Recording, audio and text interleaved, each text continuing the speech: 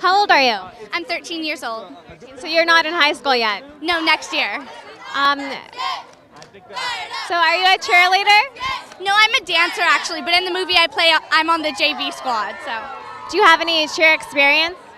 not especially, but I did gymnastics when I was younger. So, like in the film, I do a few flips and stuff, and um, I'm a, basically a dancer. But cheering is fun too.